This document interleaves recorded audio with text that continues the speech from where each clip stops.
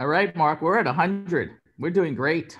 Y- Yolanda, did you put in that um, th- th- those letters? They're in. Good, good. Okay. Um, I, I think I will, uh, if- with everybody's permission, welcome you uh, to, to this week's meeting of, of the uh, year-long conference on ethics in COVID-19 pandemic, medical, social, and political issues. We, we are so excited uh, that our speaker today is Professor Alta Charo, um, graduate of Harvard in 1979 and Columbia Law School in New York in 1982, um, who then joined the University of Wisconsin in Madison in 1989. Uh, and believe it or not, I just found out, uh, retired, uh, so she's emeritus professor there at the University of Wisconsin this past year in 2020. Um, uh, Alta is an elected member of the American Academy of Arts and Sciences, the American Association for the Advancement of Science, and also the National Academy of Medicine. Um, Professor Charo was a member of President Clinton's National Bioethics Advisory Commission and also served on President Obama's transition team, uh, focusing on the NIH, the FDA, and bioethics and women's reproductive health. Uh, quite extraordinary work. Um, uh, Professor Charo has worked in government as a policy analyst at the Congressional Office of Technology Assessment, at the US Agency for International Development, and also at the FDA. Uh, she's co chaired the National Academy's Committee on Embryonic Stem Cell Research and Human Genome Editing, and now serves on the World Health Organization's Committee on Global Governance of Genome Editing, as well as on the National Academy's Standing Committee on Emerging Science Technology Issues. In 2020, uh, Alta Charo uh, was a member of the National Academy of Medicine's Committee on Equitable Allocation of COVID 19 vaccine and served also as one of the organizers of an Academy workshop on the allocation of monoclonal antibody therapy.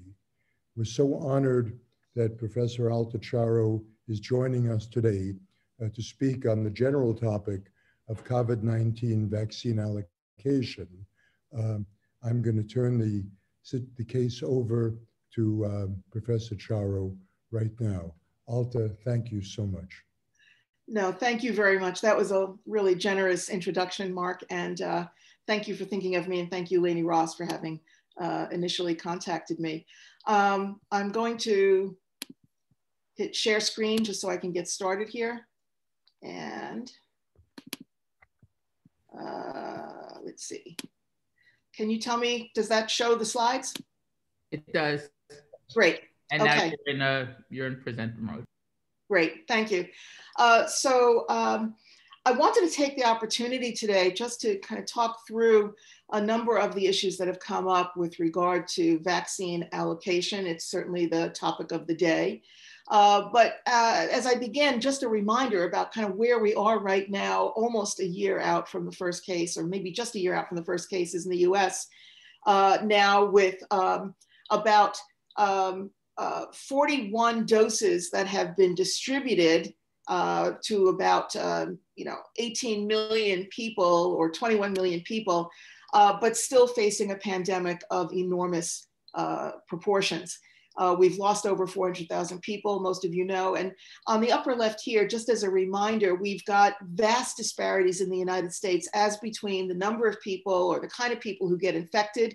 Here in the green bar, you see people that are basically in their middle years from 18 to 49 getting infected, symptomatic, roughly comparable. But when then you look at the hospitalization, suddenly it shoots up and it's the populations that are over 65. And if you were to go deeper into the data, you would see that that number itself is a little misleading because it's really over 90 and over 80 that those numbers truly leap to uh, extraordinary levels. Uh, and we're also still dealing with lots of hotspots. Um, in this particular map, the darker the color, the more uh, density of infection that you're seeing per thousand people. And uh, as you can see, some of the states that have resisted some of the non-pharmaceutical interventions like masks are still seeing tremendous hotspots here in the Dakotas, in Arizona. Uh, but we're also beginning to see this uptick now in places like Southern California, um, which have been hit with a new variant.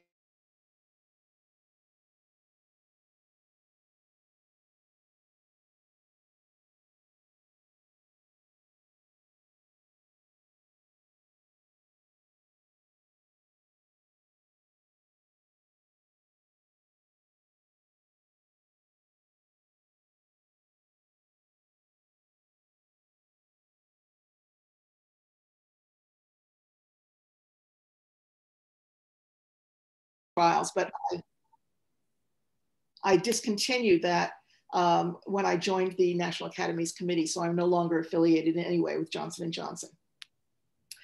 Um, I want to start really with this question of um, allocation because we knew that vaccines were coming. We knew that there wouldn't be enough. And we knew we had to figure out who goes first and who goes second and by what kinds of criteria. And one of the best stories that came out was that uh, the mall Santas, this is back in November, uh, were anticipating the holiday season and they wanted to get high priority. Um, they correctly pointed out that they fit many of the categories that people have been talking about. They had a lot of contact with a lot of different people, so they had high exposure. They tended to be older and they tended to be obese. So, in all these different respects, they kind of met those criteria. And more importantly, they argued that they were truly essential workers. I hadn't known this, but there is a fraternal order of real bearded Santas, um, which is devoted to the professional Claus. And uh, they actually lobbied actively with both the executive and legislative branches. And at one point, we're going to be given this higher priority uh, through a, a quarter billion dollar federally funded effort. To be fair, though, the idea had been that they would lead the public into a state of trust in the vaccine. So it wasn't only for their own benefit, but also for the public. I think partly the simply the, the kind of hilarity around this was one of the things that drove it uh, out and uh, meant that the program never took place. But there were certain aspects of it that made some amount of sense. Um, and it made sense because one of the things that we're having is a real problem with trust in the vaccine. And that in turn is related to several things.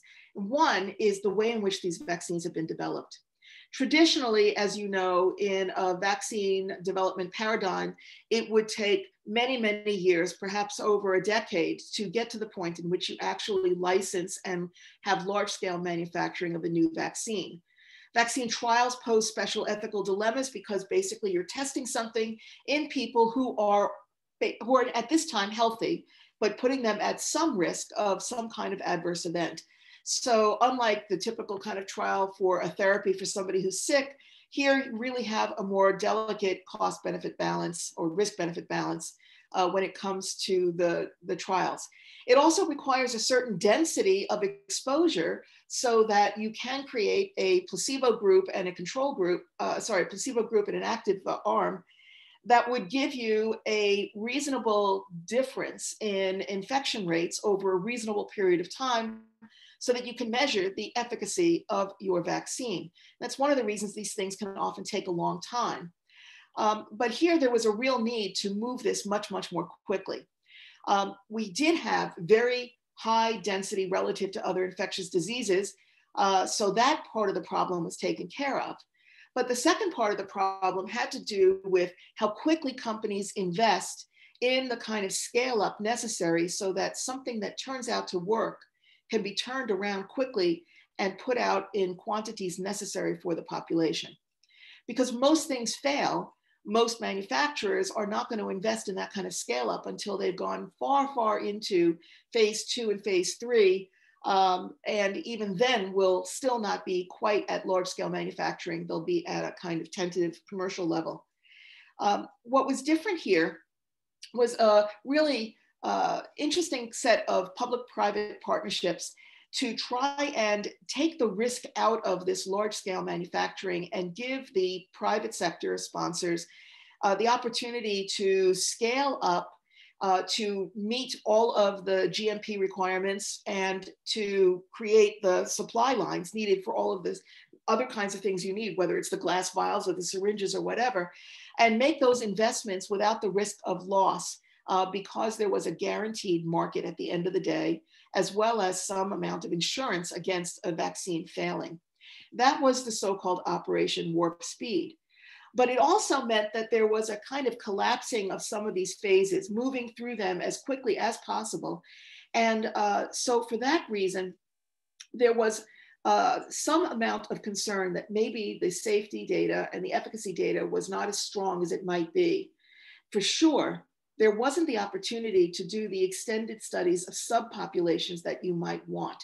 Subpopulations that were differentiated according to, uh, according to age and sex and uh, fertility status and uh, you know, race and ethnicity and dietary concerns and et cetera, et cetera. So we did not have some of that data, nor of course do we have the long-term safety data, um, presumably fairly low risk, but uh, nonetheless the kind of thing you'd ordinarily get. Uh, in addition, the endpoint here was not the ordinary approval, it was what's called an emergency use authorization from the Food and Drug Administration. Uh, this is something that can be given based upon this more collapsed kind of schedule if the Secretary of Health and Human Services has declared a public health emergency. And it allows for the marketing of this product uh, consistent with federal law for the duration of that emergency.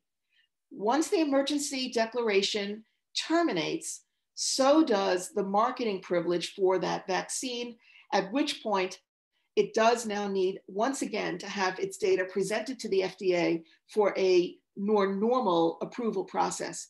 Presumably, in an ideal world, uh, your post authorization period, which is now with people getting the vaccines, also involves data collection, which will feed into the ultimate approval decision, where we might be able to pick up more of those subpopulations and long term effects.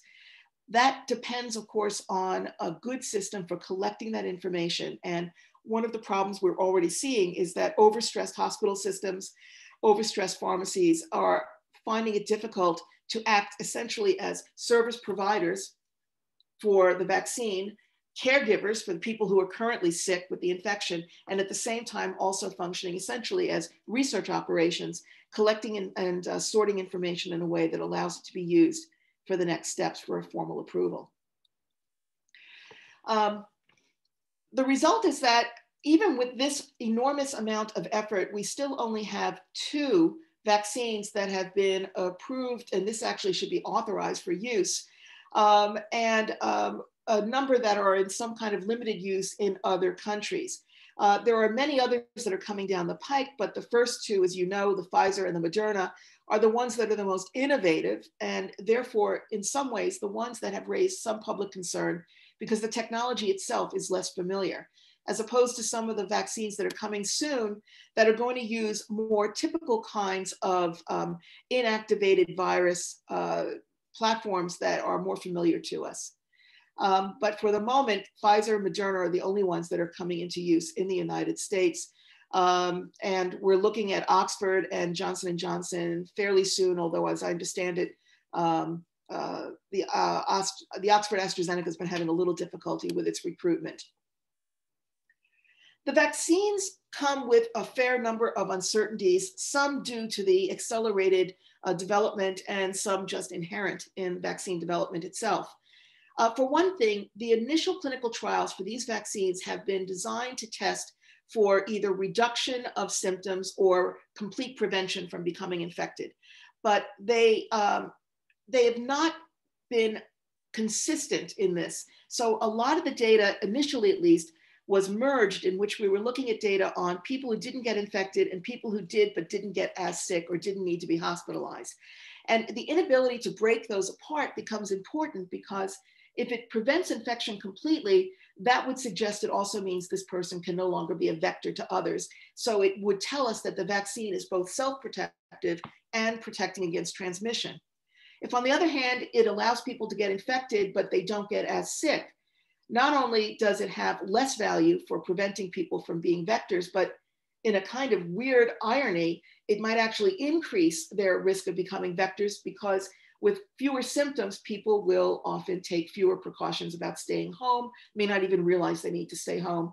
And asymptomatic transmission has certainly been one of the difficult aspects of this pandemic. Um, a second, more recent development has to do with new variants that have popped up. We heard about them from the UK, from South Africa. Uh, we now have uh, at least uh, one or two confirmed cases in the United States. I think I just heard a couple of days ago there might be the first case in Minnesota. And so the question then is whether the vaccines that have been authorized will work against these variants. Moderna is the only one whose announcement I've seen so far. I could be behind the news Moderna announced that its vaccine will work on some variants despite some initial rather alarming in vitro work. Um, but nonetheless, it's also developing a booster as a kind of backup plan. Uh, but certainly that is, again, going to be one of the questions as we see more variants, whether this is going to become a problem for any or all of the vaccines currently under development. Um, so with these kinds of uncertainties, we find ourselves a little bit unsure about whether to build a vaccine program around the idea of protecting people from getting sick to save lives, save hospitalizations, save people's ability to work, or whether really what we want to do is use vaccines simply to try to reduce transmission.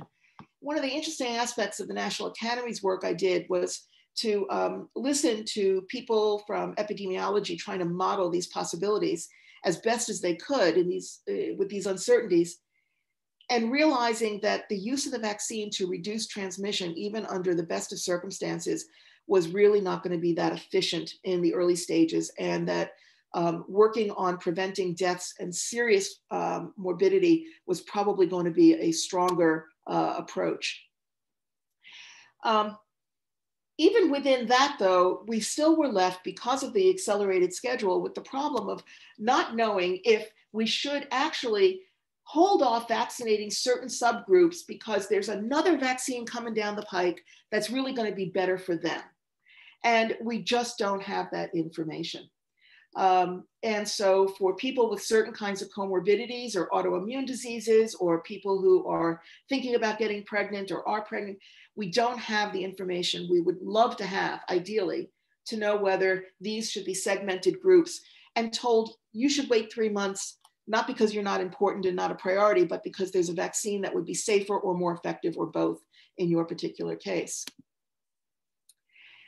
Dogging all of this, as I can't believe you don't know already, is that we have vast issues having to do with health disparities and inequitable access to health care in the United States um, there have been some really stunning differentials in the rates at which various subgroups have been getting infected or once infected facing serious morbidity or death. And in some cases up to 500% higher in some parts of the Alaska Native community. African American community, we're seeing rates that are in the like three times higher. Some of this is related to the things that correlate with race and ethnicity uh, minorities in the United States, because that in turn tends to correlate with lower income. Lower income in turn will correlate with higher density housing, so very difficult to stop transmission. It will also tend to correlate with jobs that don't provide comprehensive health insurance coverage or preventive care. So you have people who have a greater range of uh, existing morbidities that have not been adequately managed we also have, from a dietary point of view, a pattern of higher rates of obesity in lower income groups, along with diabetes. And finally, people working in jobs where they cannot self protect as well as some others. I, for example, am lecturing to you from my kitchen. Um, but uh, most people in these income brackets are out there working in settings in which they're facing the public. Uh, whether they're working uh, in uh, repair services or delivery services or driving buses or working as um, uh, room cleaners in a hospital, they are unable to protect themselves from exposure. So they are both more highly exposed and more likely to be living in a place where once exposed, if infected, they will pass it on to others. And collectively, everybody in that crowded housing probably more vulnerable to a serious uh, form of the uh, infection. And the result being a really desperate problem now thrown up into high relief of having to manage these kinds of disparities. So that would suggest that we want to get all of these vaccines out as fast as possible and make sure in particular that we're going to get them out to uh, people who are at the highest risk of becoming infected or if infected getting very very sick. And yet we're also facing the counterweight of the vaccine uptake hesitancy and refusal. Um, this is something that we know from other contexts. We've seen it in the flu vaccines. We've seen it in the school vaccines and has been dogging us for years. Um, what has been exacerbated in this particular uh, pandemic has been the politicization of the vaccine development uh, because of the pattern of federal government behavior over the last year, leading to many people to have less confidence in the CDC, in the FDA, and in the decision making around those uh, agencies so that you layer on to the ordinary level of vaccine hesitancy uh, some concern about the reliability of some of the governmental decisions. And even as we're beginning to see a little bit of confidence in vaccines rise, now up to about 60%, this is from December 3rd, uh, so it's still rather out of date, but it was the most recent I found.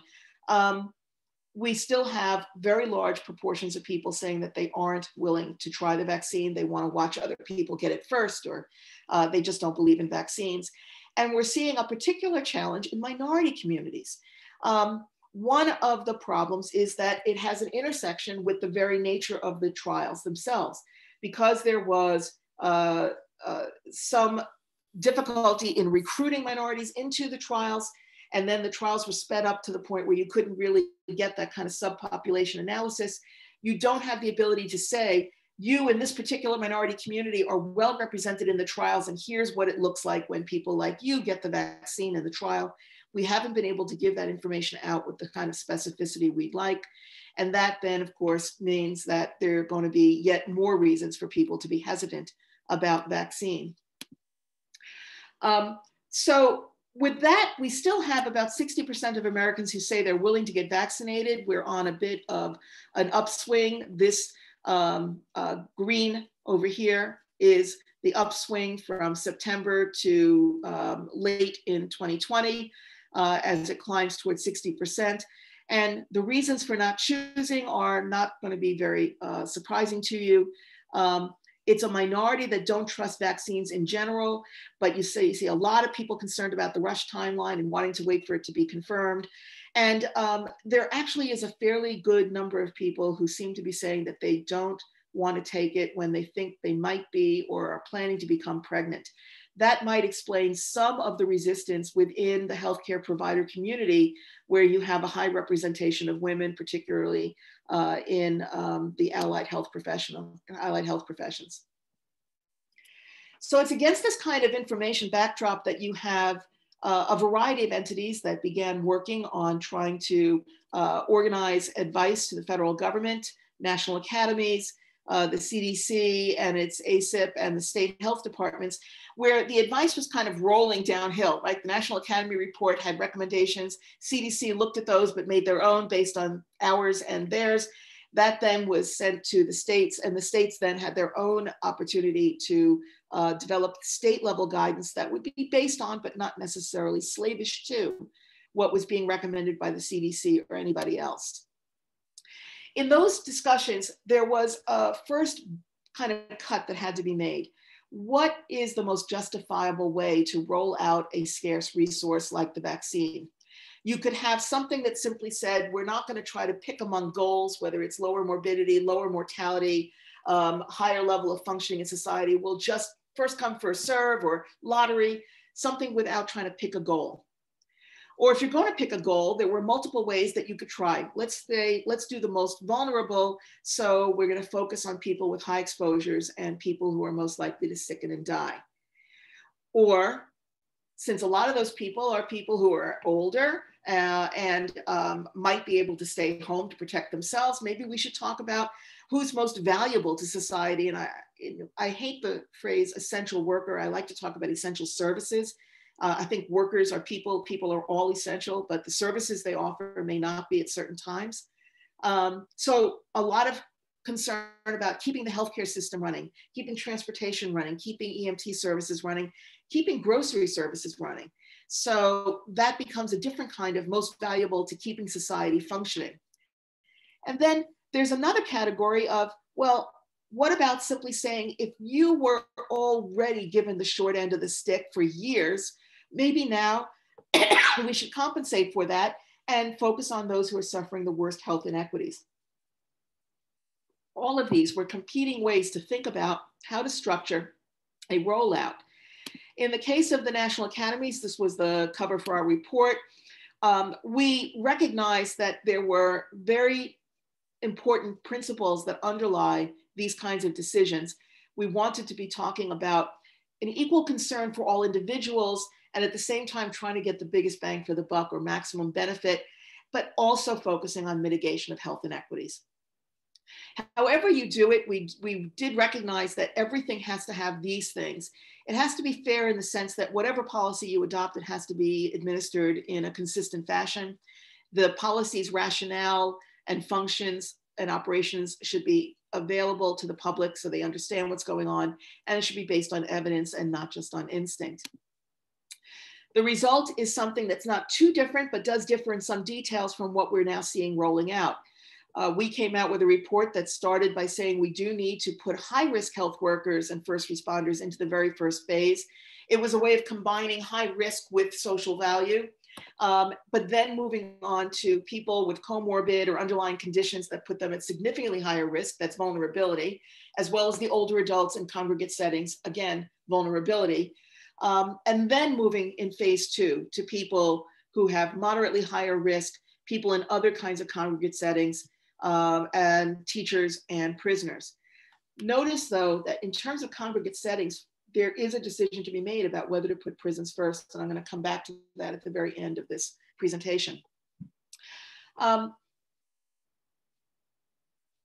as I mentioned earlier, a lot of the factors we talked about, you know, the kind of job you're in, the kind of housing that you're in, would um, correlate often with the kind of experience that many minorities have in the United States in terms of lower income and higher vulnerability. Um, so many of these factors would have the effect of addressing the inequities that we had seen and the higher rates of infection and death we were seeing in these communities. Nonetheless, it doesn't get to everything about the underlying factors in racism that would lead to these kinds of disparities. And so, to the extent that you can't even address all the people within a particular phase, we had said equity is cross cutting. If you can't get to everybody, let's say within phase 1B, then you focus on those people who have been identified through a social vulnerability index, or if you prefer, another index like the area deprivation index. So that at least you are now trying to find the people who've got the most factors that would lead them to be justified by need, by risk, by social, socially valuable occupation all at once. The CDC um, proceeded in a fairly similar way when they themselves back in December said that again, we're going to be focusing on healthcare personnel. Notice this is not just doctors, this includes anybody with the kind of contact with infected parties that would put them at risk. So people who clean the rooms, people who are providing the meals may very well have a higher priority than many MDs who are working remotely or working in parts of the facility where they don't have a lot of contact with individual patients. Uh, and building on this idea that you want to be transparent, we also saw the CDC's uh, trying to make sure that people understood its kind of ongoing thinking in publications like this one from JAMA. But they also noticed that the numbers here were challenging, right? So when they were doing their first numbers, they realized that in just their phase one, uh, there are 200 million people um, you know, if you look at these individual numbers, depending on how you define essential workers, 60 million, older elderly 53 million, and you'll notice from the very first slide that we're only up to about 21 million now.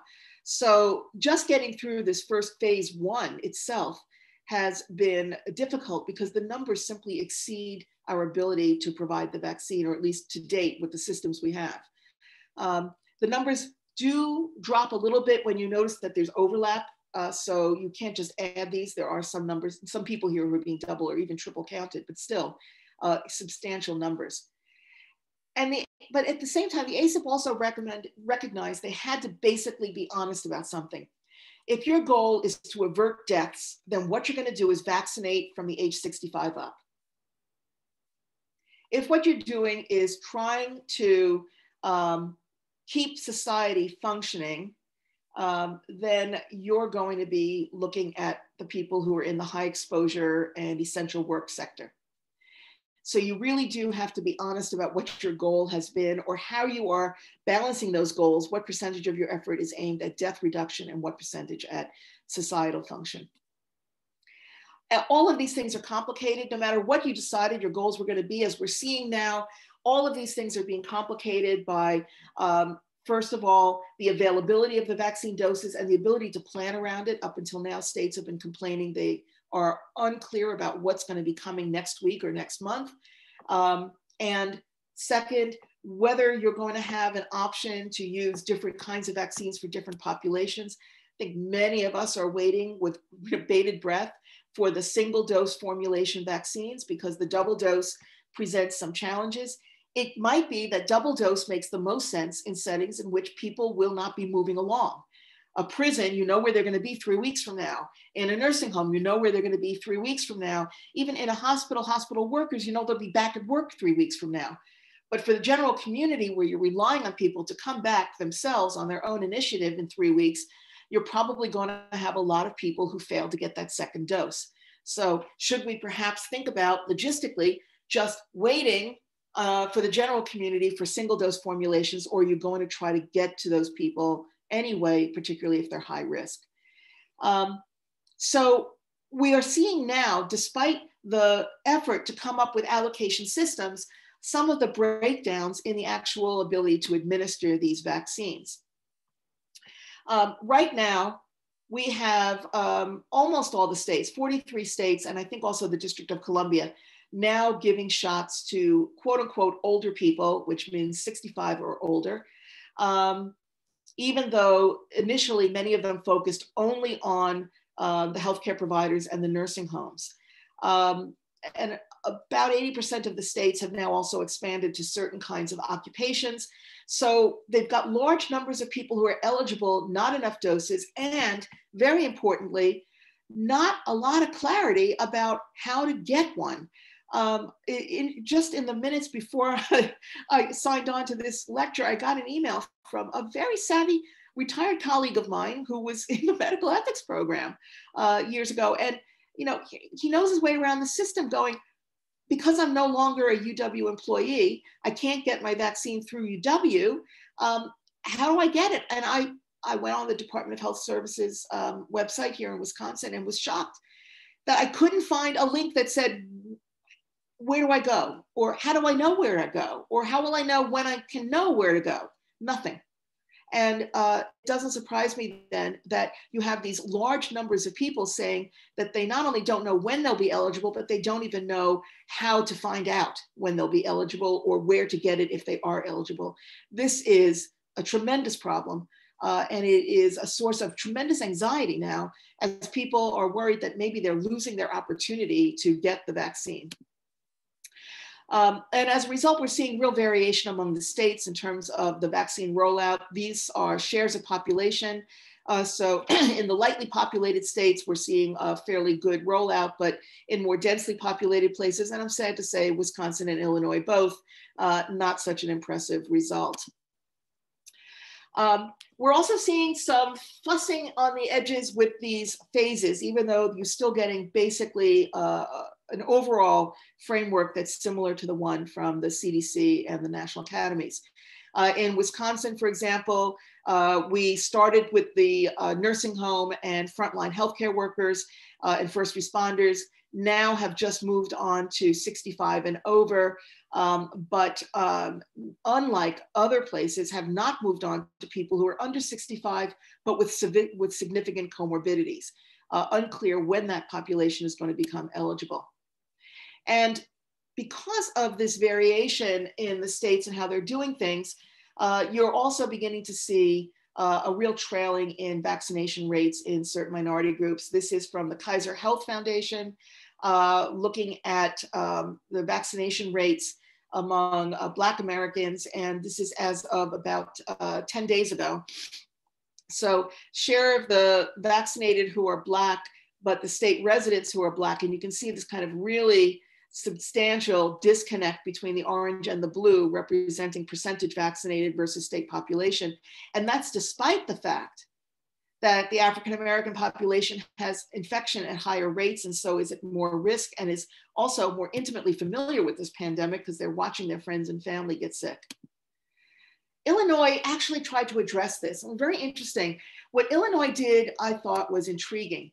Um, recognizing that there was a problem with disparate use and uptake and access for the vaccines, Illinois lowered eligibility from what it had started at, where it was in the 70s to 65, because people in these minority groups tend to develop some of these diseases of age a little younger than others. They have a whole lifetime's accumulation of comorbidities so that uh, their chronological age at 65 might look more like the kind of health status that is more typical of somebody who's 70 or 75. And so by moving the ages down, you actually also get a chance to address, indirectly at least, some of the disparities in uh, minority access and minority uptake. But all of these efforts to make sure that we address these disparities have been running into some concerns. We have, we have articles being written asking about whether it's even lawful to prioritize racial and ethnic minorities uh, for vaccination, despite the fact that we know that they are prioritized in a sense by the virus to be getting sick and dying. Um, because we have such a tortured uh, legal landscape with regard to the use of race and ethnicity as a factor in a whole variety of social decisions. The social, uh, sorry, the, the, the um, social vulnerability index, um, which is presented here, you'll notice talks about minority status as well as um, English language skills as specific factors, but it also has a number of other, about 15 other factors having to do with education, poverty, age, disability, and home uh, situation. This is the SVI. This is the um, focus of attack by many people who've suggested that instead we should use something called an area deprivation index, which doesn't use race and ethnicity explicitly, picks it up indirectly through other measures, but it's a much cruder uh, measure Nonetheless, it does give you a fair amount of overlap. So some states have opted for it. This is Chicago. And this is what the area deprivation index indicates. You see the darker blue indicating areas where you have um, a greater proportion of people who have disadvantage either in, um, uh, in income, basically income levels mostly, as well as certain kinds of other demographic indicators. So at least this can be used without as much disturbing opposition as the SVI. Um, although I will say, as a personal matter, I think the SVI could survive in court. The question is, how much are you willing to take away from your efforts to vaccinate people in order to defend it in court? And I, am not making this kind of opposition up because here we have a headline from just a few days ago uh, from Dallas in which Dallas County said that they wanted to prioritize residents in the zip codes that appear most vulnerable to COVID 19, which, as you know, is going to be high density minority housing. And um, they would have they would have prioritized those areas when they don't have enough within a phase. So they weren't saying we're abandoning phases. It's within N1A, within N1B, we're going to prioritize these deprived areas. And what was really extraordinary was that the state said that, um, sorry, the state said that if Dallas County insisted on this, the state would simply not give vaccine to Dallas County, period. A stunning degree of uh, kind of a, a, game of chicken uh, over the politics around race in this particular state. The second area of real controversy, as I had um, uh, hinted at earlier on, has to do with prisoners. Um, right now, we know that there are about 35 to 38 states that are actually at least addressing the problem of prisons in their plans, although not necessarily putting them in the first or even the second uh, phase of rollout, uh, despite the fact that prisons have been hugely affected by the vaccine, by the pandemic. These are settings in which the virus tends to run rampant. It's a setting in which the individual prisoners are not in a position to take protective measures for themselves. They're constrained into where they can go and how they can, how long they can be in a particular place. Um, and ironically, um, uh, even if you didn't care about the prisoners, which you should, um, it also means that prison staff become much more exposed and the prison staff then go home and expose their community. So whether from self-interest or from humanitarian concerns, prisons should be a focus. And yet we have at least uh, 10 or 12 states that haven't even thought about where to put them in the phases, let alone putting them in one of the lower phases. Um, it really raises questions about both the attitudes about race, again, since prisons are disproportionately occupied by members of racial and ethnic minorities, and also our kind of moralistic approaches to public health in which we look at them and say, those are bad people. Why should bad people get vaccinated before I do? Similarly, uh, we saw in the conversation I had with some students just before this lecture began, uh, some uh, attitudes or at least some reports about attitudes concerning smokers and whether or not somebody who's vulnerable because of smoking, and I would have added obesity, drug use, um, uh, should be given higher priority because they are higher risk since they engaged in behaviors that are at least preventable. Um, but I will say, at least on the prisoner setting, that um, prisoners are sentenced uh, in accordance with their crime, for better or worse. I mean, many of the sentences are way out of whack, but they are sentenced according to various guidelines and precedents. In no way is exposure to illness and premature death supposed to be part of those sentences. And that's functionally what we do when we don't take care of the people in prisons. Indeed, one of the ethical principles for public health is that when people are being asked to limit their freedom, that they then become uh, the subject of an enhanced level of care by the state, whether it's telling people that they have to quarantine and making sure that they can get their food and that they can get education, or whether it's putting people in prison. The state has an obligation now to minimize the burden that's placed on them because of these things and to act as a caretaker. I'm going to conclude simply by noting that um, as of uh, just a week ago or so, uh, we now have a new set of approaches that are being announced out of the federal government. Too soon to see exactly how they will function. This is the um, this is the list of goals under the recently announced national strategy under the new Biden-Harris administration. And I wanted to focus on just a couple of things here before I end. One was to try and ensure availability of vaccines. So first, the expansion of vaccine manufacturing and purchasing by taking full advantage of something that was uh, that was talked about several months ago, but not necessarily used to its full effect, and that's the Defense Production Act. It allows the government to essentially uh, get manufacturers to turn over their um, processes in order to produce what it is that we need and make sure that the supply lines and supply chains stay secured. Um, to also um, have more purchasing power so that we, again, the guaranteed market, again, give the manufacturers a, an ability to invest without fear and to prioritize the kinds of supplies, the kind of unsexy supplies that you need, like the stoppers and the syringes, excuse me, to or to actually make the vaccines physically available. And then to accelerate the actual process of vaccination. I didn't put it up on the slide, but there's a whole set of uh, programs that they're planning to roll out to increase public education, but also to end the policy of holding back significant levels of doses so that people have their second dose available. Instead, they're going to try to push the manufacturing faster so more people get their first dose and we manufacture faster to make sure that they can also get their second dose on time. That's a very uh, difficult little ballet dance over there. So it'll be interesting to see if that can work. Um, trying to move through priority gr groups more quickly um, and focusing really on the older population because they're really trying to get the death rates down. Um, but at the same time, wanting to be overtly, openly, honestly uh, intent on making sure that people who are at highest risk, and that is going to be disproportionately minorities and the poor, also get priority access. And then uh, two other things really crucial. Um, giving states the ability to plan by having um, very clear and um, consistent projections about what's going to be coming to them and when, as well as to create venues So the federal government stepping in and using their VA hospitals, but also using stadiums and conference centers and urgent care centers. In other words, having the federal government assist the states in creating more sites for vaccination. Um, I, I, didn't have this on the slide because it only happened, I think, yesterday, but um, uh, I noticed in the news that uh, the governor of New York was hoping to maybe purchase vaccine on his own separately. And that certainly builds off the experience earlier in the pandemic where states were competing with one another for basic supplies.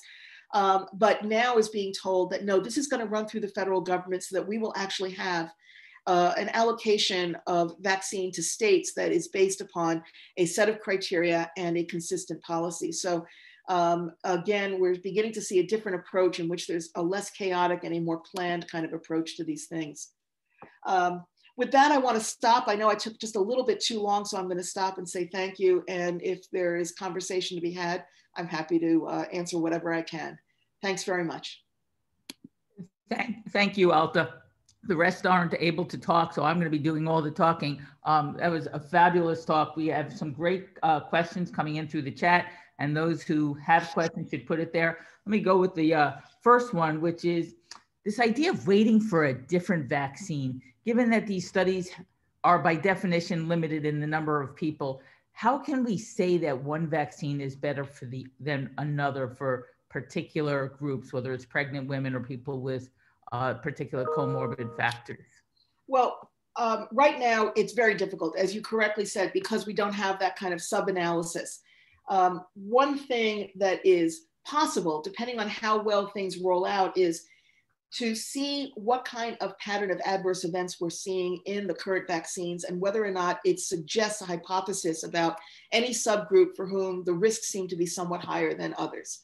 Uh, if we're seeing a pattern in the adverse events, that's going to be difficult because this is a signal and it can't be tested properly, but at least it's a signal.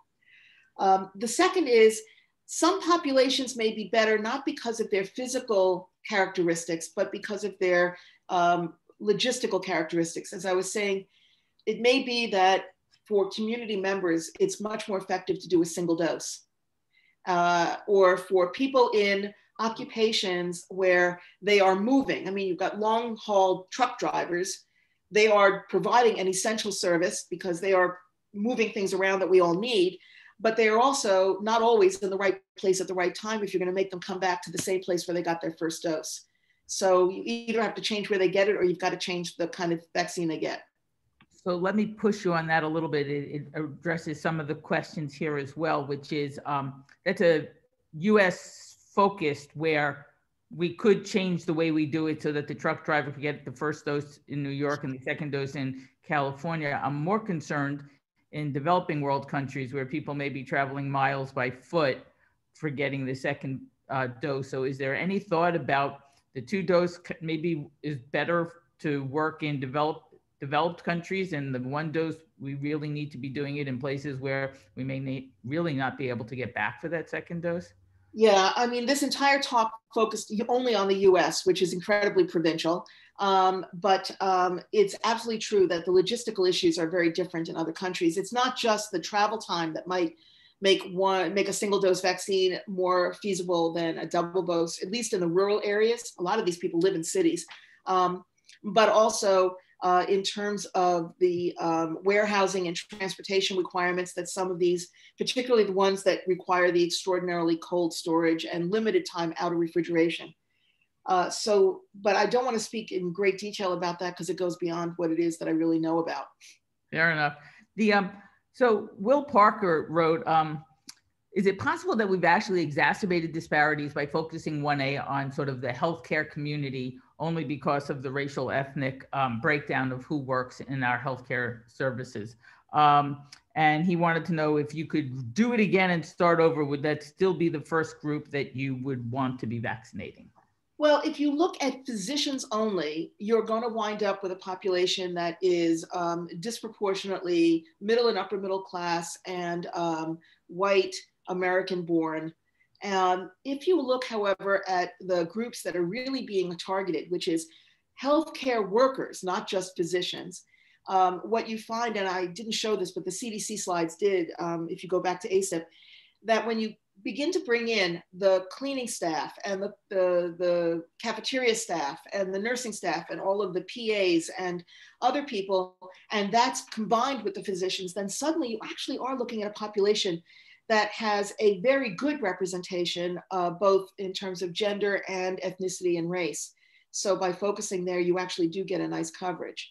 So I can't speak for all hospitals, but I do know a little bit about the Chicago hospitals. And one of the issues with that, for example, is that the uptake amongst physicians, um, since these are voluntary vaccines, and that I will get to the question of voluntary versus mandatory, has been very high, with over 80% of physician, healthcare workers, and residents and house staff accepting the vaccine, and yet quite low in those other groups. So it does raise issues of what one question was um, well, there's a shortage. Why not just give it to the people who want it? Why are we trying to push for people who are hesitant, given that we don't have enough for everyone anyway? Well, I think we try to push it for people who are hesitant for several reasons. Number one, um, because of a kind of parentalistic attitude that it's good for them. I mean, really, it's good. And public health is parentalistic. Let's just face it. Um, and that is part of its function is to help people do better for themselves than they would if they had their own druthers. Um, the second is that those people who are hesitant um, or refusing are also now providing a vector to other people who either are not able to get the vaccine, are contraindicated to the vaccine, are particularly vulnerable to the illness. They are a public health threat. They are a walking public health threat by not being vaccinated. So you do want both for their own interest and for the interest of the rest of us to push the vaccine. And um, there's been a real effort to overcome the kind of distrust and discomfort with the medical system that we see in certain subpopulations uh, by having people from their own community speaking to them. So there are now coordinated efforts to work with, among other things, um, African American physicians or um, uh, ministers and other kinds of uh, religious institution leaders uh, and celebrities that will provide a kind of reassurance. I mean, going back to the Santa Claus, it's kind of finding what person is it that you trust who says it's okay, and then making sure that that person is available to send that message. So I, I also just want to point out that our original policy that we had been thinking about was to uh, just include those who are over the age of 75. And one of our, the decisions was to lower it to 65 um, in the notion of health equity, in that just life expectancy, that if you only included those over 75, you'd be getting a much wider community than you would if you went down to 65. That's the, uh, true. But going back to the question about mandatory vaccination, uh, so two questions come up about that. One, can you ever justify mandatory when it's only under an EUA and doesn't have, quote, the full FDA? Um, and again, this whole question of just to what extent are people who really, really want it should be able to sort of give themselves priority over the vaccine hesitant? But I think you've already answered the second half. So on the EUA, um, there's there's two parts to this thing. First of all, let's recognize that you can't force anybody to have a vaccine. The question is whether you can penalize somebody who doesn't have it.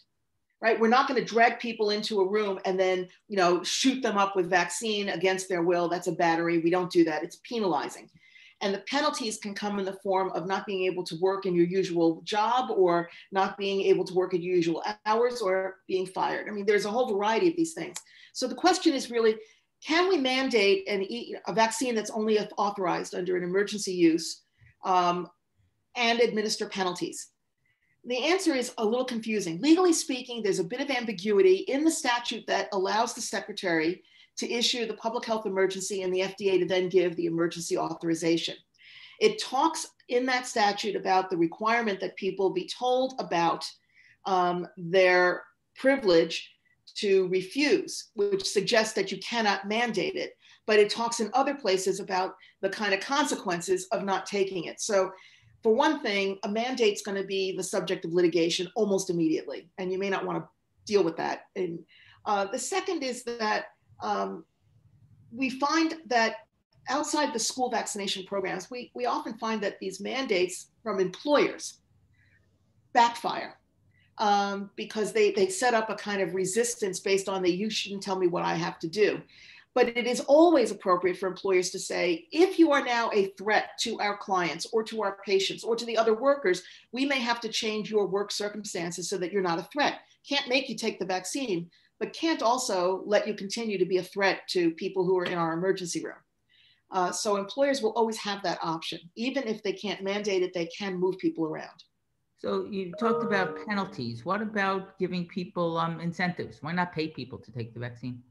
That has been suggested actually, and um, it could be paying people, or it could be other kinds of perks. I mean, uh, here in the winter climate, it may be getting a parking place that's closer, uh, or it could be that you get first dibs on whether or not you have to work on New Year's Eve.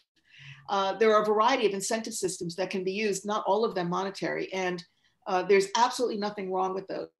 Keep in mind, however you do this, in an employment situation, you also have to recognize a couple of non-discrimination measures that must be abided by. You can't discriminate based on disability. Some people can't take the vaccine because they're contraindicated. They cannot be disadvantaged because of that. Um, there are religious exemption requirements as well for people who have got religious objections. Uh, so any kind of employment-based program, whether for incentives or for penalties, has to accommodate the legal constraints on how you treat those groups that are not complying for reasons that are protected under law. So I'm intrigued uh, about the religious exemption since in pediatrics, um, there's been a lot of moves in like California, for example, got rid of all religious exemptions and many states are. So does that really hold for the COVID vaccine? Employment laws are different than the laws for the school vaccines. Got it.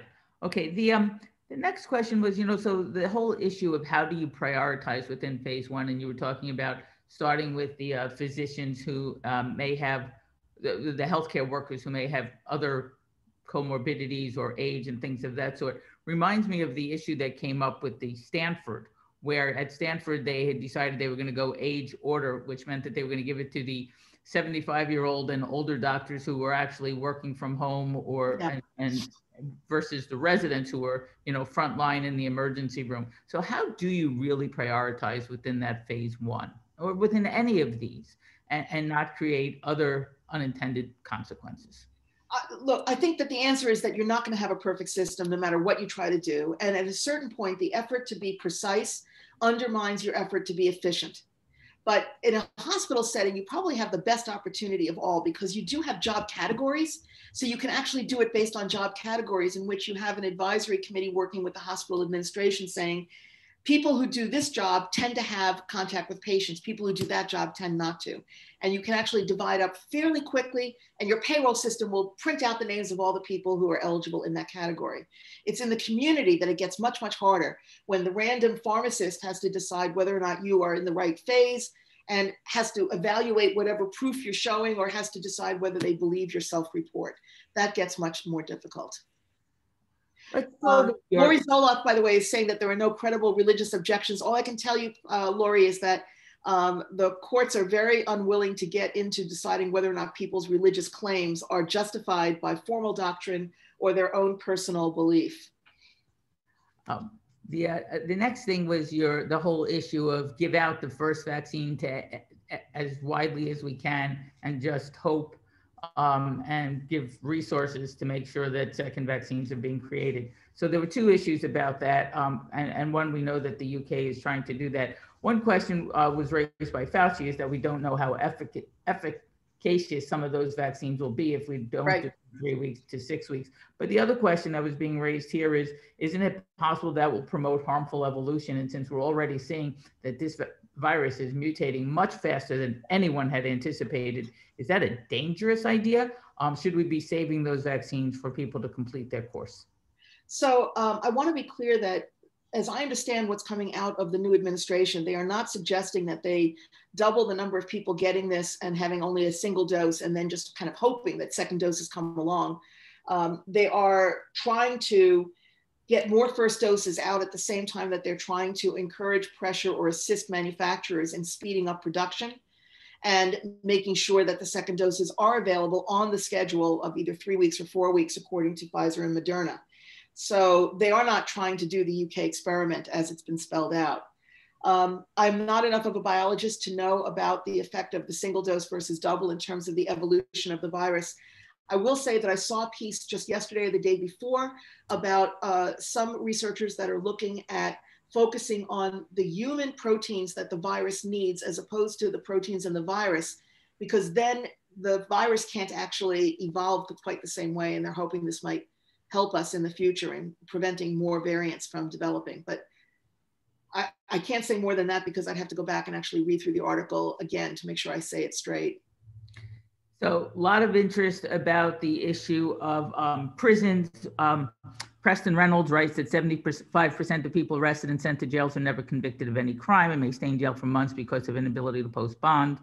Um, as a medical director of our local jail, I'm proud to say we have remained essentially COVID free by implementing every possible strategy, including electron- electronic home monitoring, requiring face masks for everyone, including officers, et cetera, et cetera, with vaccine rollout. Um, though uh, one of the issues again is going to be that it's going to be voluntary, and how do you get people to agree to take it?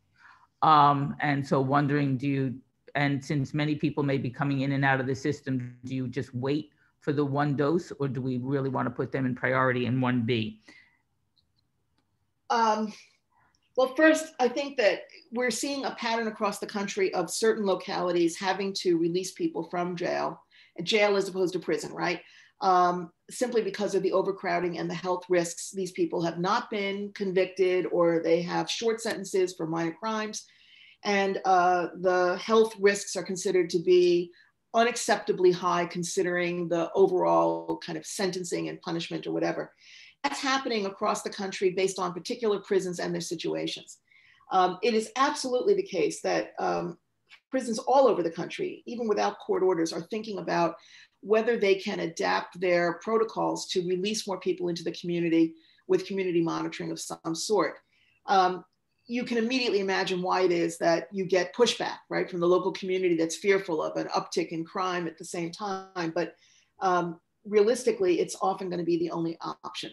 Even if you take all of the measures possible, once the infection gets into those facilities, it is really, really hard to stop it from spreading. And the initial introduction can come from visitors or from staff um, or from you know deliveries of goods and services. So very very hard. The um you know and it, the um what was the next question? So one question was why has this become so political? And um I, one one one of the uh, people in the audience uh, wanted to know why was the polio vaccine not so political and what can we do to make sure that future epidemics and pandemics um, aren't so political? And um, or is this just a naive understanding of what really happened with the polio vaccine? Um, so we do have some interesting history with both smallpox and polio um, where you have eras in which there is a higher trust in government. And as a result you don't get the same kind of politicization um, but you do still have pockets of resistance. I mean, there were there was a demonstration in Milwaukee that went on for a month against the um, smallpox vaccine program in the earlier part of the 20th century. Um, so it's not as if this kind of thing hasn't happened before. I think what really was interesting this time is how much it broke down along formal political party lines.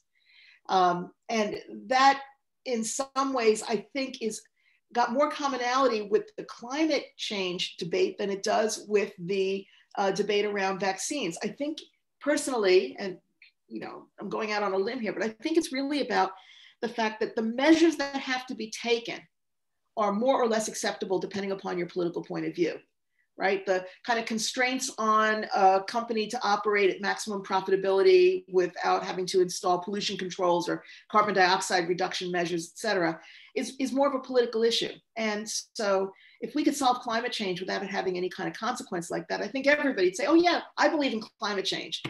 And if the pandemic response didn't require all of these kinds of liberty redu reducing measures, um, I don't think that we would have seen the resistance to believing in the seriousness of the pandemic or the importance of the measures that are being taken right? Again it's the kind of resistance to reality that's been the problem right? I don't believe in the pandemic. I don't believe that masks really matter. Um, so and i don't know that this has been as clear a political party line in the past as uh, as it was in this particular era. That's exacerbated simply by the kind of extremism that's been built into the American political system now through the primary system, in which elected representatives now are pretty much having to move to the margins of their parties to get elected in their individual districts. It's changed the composition of the House.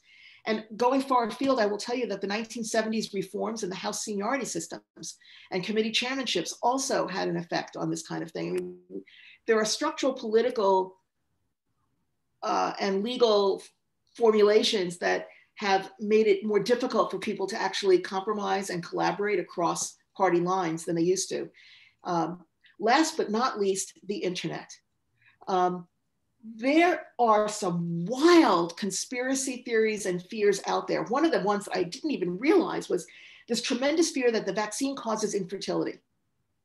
And this one's been circulated deliberately into the minority community where they do have a history of forced sterilization uh, in the past. And so these kinds of concerns don't seem so far out. By the way, it's the same ones that were raised in parts of Africa in the um, polio campaigns.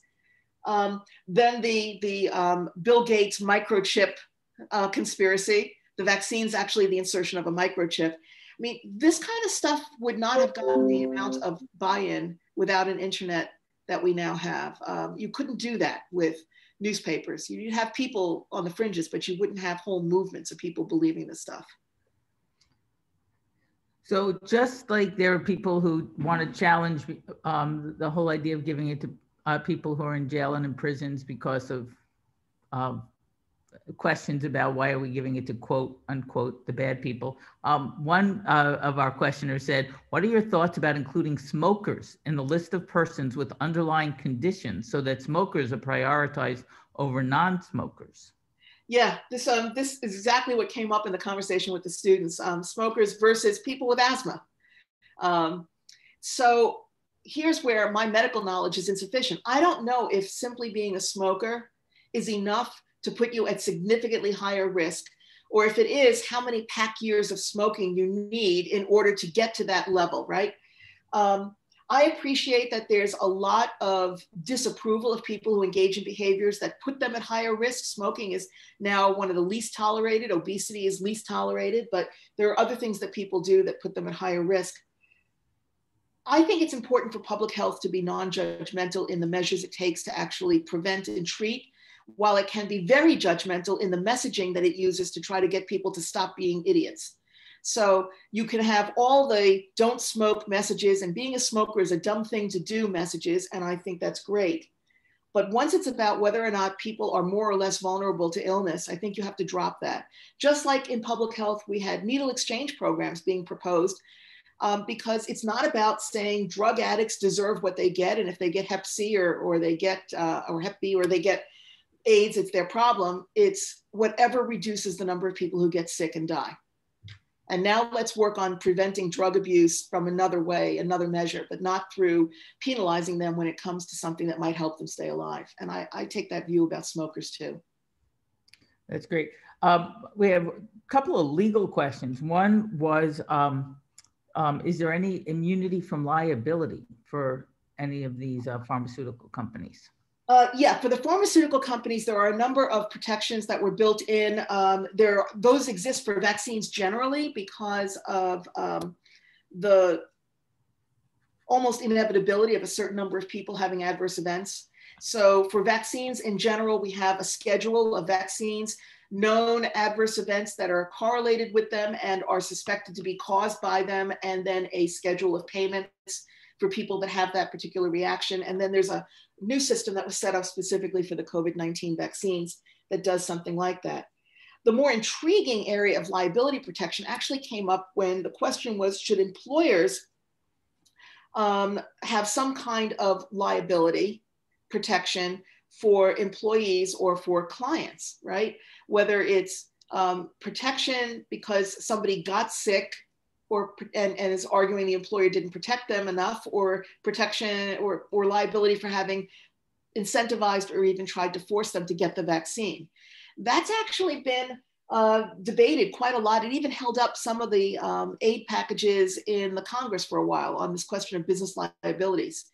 Um, and I'll say that with regard to liability for allowing somebody to get sick, I, I also taught torts at the University of Wisconsin for many, many years. And I think that the ability to prove that your infection came from this source and not another uh, is a causality element that'd be very difficult to manage. And so I think that the fear of liability there was a little bit um, exaggerated. And you, but um, when it comes to the vaccines in general, opting into the vaccine liability programs and getting a scheduled payout would then supplant any kind of employer liability uh, for having encouraged the vaccine.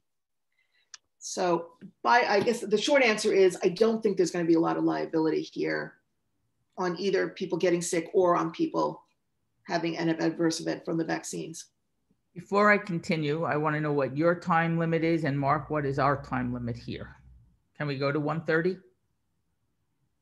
I think he said yes, he was on mute. The, um, so one question comes from Monica Peek. Is that okay for you, Alta? That's fine. Hi, Monica. Uh, what are the federal guidelines re the use of trusted community-based organizations such as churches as places for vaccine implementation, particularly for minority communities? I don't know.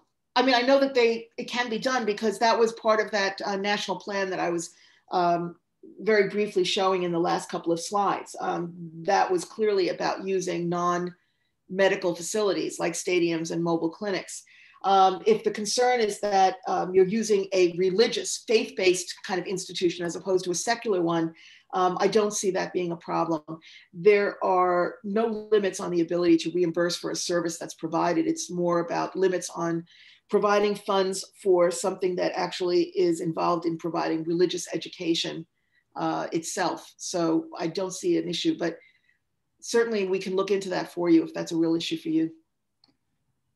Is there anything in the Biden Harris plan in response to vaccine tourism?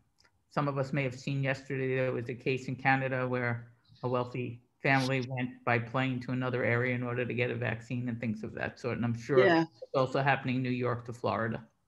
Yeah.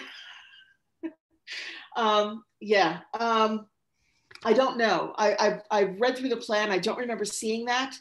Um, I do remember seeing materials having to do not with vaccine tourism, but with licensed professional tourism. That is making it easier for licensed professionals in one state to operate in another temporarily so that they can help out during a surge. Um, but I don't. we've had, that, we've had that here with, for example, just with the Zoom and doing a Yeah, uh, remote telehealth. Across state lines. And we have several states that um, gave emergency permission for, to do that. Um, on the tourism, I don't remember seeing anything in the plan. I know that individual states have been taking measures to restrict vaccination to their own residents, but then they get into am, am I a resident? My driver's license may be Wisconsin, but I've been living in California for a year. You know, where am I a resident? And do I have to show you my tax forms? Um, Not to run for president, but to, uh, to get a vaccine. Okay, got it. um, but we, it's, that's easy enough to check going back into the document. So um, Bob Shung asked the question, how much risk is it that the practice of medicine will be, quote, contaminated by public health ethics post-pandemic? In other words, this whole notion of social value, whether it's essential services and the workers who work in those essential services, then will become part of the equation at the bedside. So pushing back on the fact that many of us think that this was the first time we could finally justify re sort of engaging and reconverging medical ethics and public health ethics. I'm a little bit confused. Is the concern that we're going to revisit things like rationing organ transplants according to some notion about who's more socially valuable? The old, you know, the old Well, what- kind of that's organ experiment. Is that the, is that the well, I, concern? I think that is the concern, right? If we're giving the vaccines to quote those who are essential workers and healthcare providers, we're making a, and even in your ACIP, right? I mean, you, you, you use the language of social value. You uh, know, yes, I did. Um, I, I, I can't be sure, but it does seem to me that public health deals in large numbers. So you're dealing with large numbers of people whose presence or absence from being a functioning part of society has an enormous ripple effect on the rest of society. If you can't have a full or at least substantially full battery of people who are engaged in um, crucial manufacturing or in crucial transportation, then everything falls apart.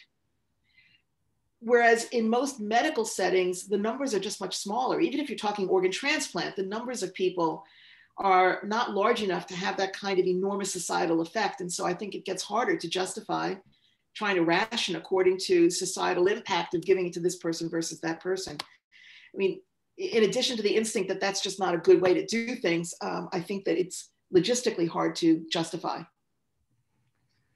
So going back to your issue of the uh, social vulnerability index, um, we had a question from Dana Van de Heide who wrote, can you discuss a bit about the approach in Florida with an open call for anyone over 65? My understanding is that the phone lines and appointments were immediately overwhelmed, but it looks like their percent vaccinated is relatively high. But I don't know about the distribution, socioeconomic, racial, ethically, should they have prioritized within the 65 plus group, particularly as a state with a very high proportion of older adults? Yeah, uh, I, yeah, Florida and older adults, I think, is a very special kind of political thing going on there. And it's also about who's going to go to the polls, who's going to vote, because um, older populations do tend to vote at higher rates. So there's a real uh, push by most politicians there to gain the loyalty of that population. Uh, just listen to the rhetoric around Social Security and Medicare in that state. Um, I think that the answer to that is largely in how the state manages the distribution down to the county level because you can address the need to make sure that among the older, older adults that we do not overlook those who come from more impoverished backgrounds or minority backgrounds simply by making sure that the distribution within counties reflects our concerns. Because there won't be enough for everybody over 65 immediately. So if county a has 100 doses and there are 300 people on the wait list they'll give out 100 doses. And if county b has 100 doses and they're in a poor county, they'll give their 100 people. Um, if it's going to be a single distribution from the state, you may have all of the best well-off people getting it first, but you can you can avoid that. Basically, you can do what Dallas was doing until they were stopped by the state of Texas. Right? They were just they were going to focus their efforts on making sure that they got more of this stuff to the impoverished areas um, as they distributed around the county. Great. I actually think we've accomplished all the questions. And I just want to say thank you. I mean, your knowledge is just so vast. It was just awesome for all of us to just be able to think about this from both an ethics as well as policy and political perspective. So on behalf of everyone, I want to say thank you. I'm going to turn it over to Mark and then give you the last word. Mark, is there anything you want to add? You're on mute, Mark. No, I, I, I think you've covered it beautifully um, uh, in, in the discussion and in, in the questions. And I, I, am deeply thankful to Alta for, for, for spending time with us today, um, both in the seminar and, and in the lecture. Um, so uh, Alta, any final words of thought for us to your neighbors in the South? No piling up. well, first, my thanks for inviting me. Um, truly, uh, it's an honor. Um, but the second is actually to pick up on something that one of the students was saying in the session before this that I thought was really insightful. Um, and I apologize um, that I didn't catch the name. And the point had to do with the communication strategy, because at this, at this stage, a very big part of the puzzle is communication with the public. And uh, the point the student had been making, or the fellow, I could have been a fellow's, um, was that um, if, so long as the communication is, we want you to get a vaccine, but you're still going to have to distance, you're still going to have to mask, you're still going to have to behave exactly as if you didn't get vaccinated, is not the right way to pitch it. What we need to be doing is explaining to people why they're still going to need to take certain precautions, but once you've been vaccinated and you have a group around you of friends or family that have been vaccinated, there's a real change in how you conduct your personal life. You can expand your bubble, basically. Uh, and that is uh, the most important part of the return to normality is the ability to once again have human interaction over something other than a laptop screen.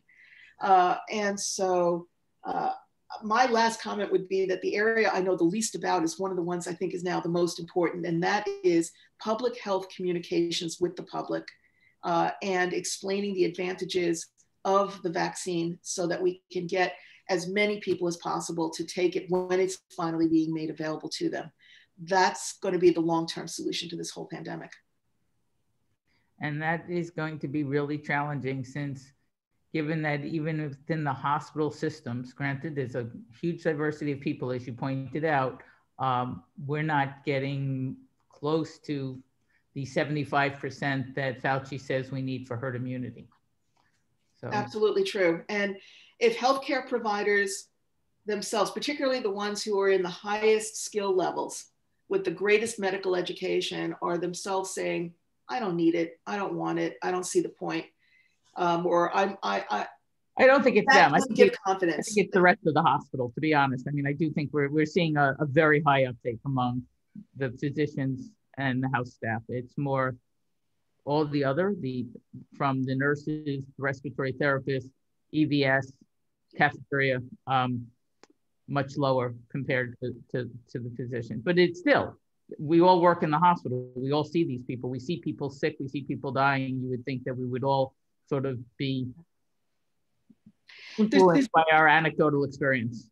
There's one other population. I know we're kind of making this the long goodbye, but there's one other population we should pay attention to, and and that's people who are highly educated and somewhat uh, left of center, the same people who are kind of nature worshipers and think natural is always better. There's some overlap in terms of resistance to other kinds of technological innovations, whether it's you know engineered foods or whatever.